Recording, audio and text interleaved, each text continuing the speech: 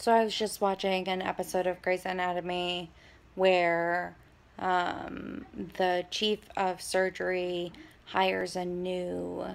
surgeon um, without consulting the person who's in charge of that surgeon's specialty. And the way that the surgeon that's newly hired justifies it to his new boss is to tell her a series of um, stories, short, quippy kinds of narratives um, about, like teaser narratives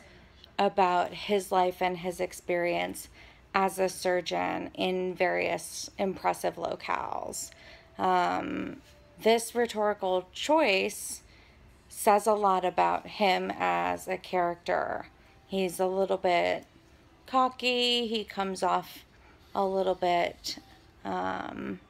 too big for his britches, as my grandmother would say. But it's interesting to see how the choice of how we introduce ourselves and the kinds of things that we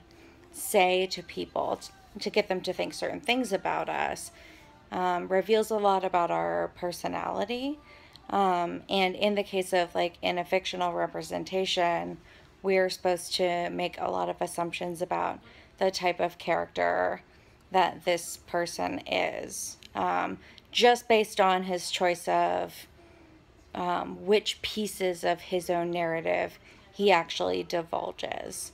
So, when thinking about the self and other and using rhetorics of self in everyday life, we do think about how how to use the narratives that we have and that we have created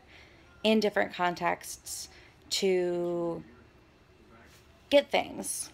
um, to get jobs in job interviews this can often happen in any kind of like professionalized space, we're going to see a lot of examples of this kind of rhetorical work. So I think it's important for you guys to maybe take some time to think about an example of a time when you had to be really careful about the rhetoric that you chose um, in order to achieve a specific goal. Talk about what that specific goal was reflect on what rhetorical choices you made in that context and write 250 ish words about